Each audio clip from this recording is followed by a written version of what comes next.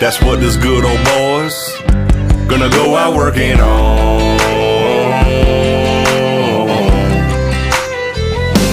Working on coming to Jesus, kicking about bottle, wrestling with our roots. Trying to turn off mama's tears and fill our daddy's boots. Shutting up our pride, fixing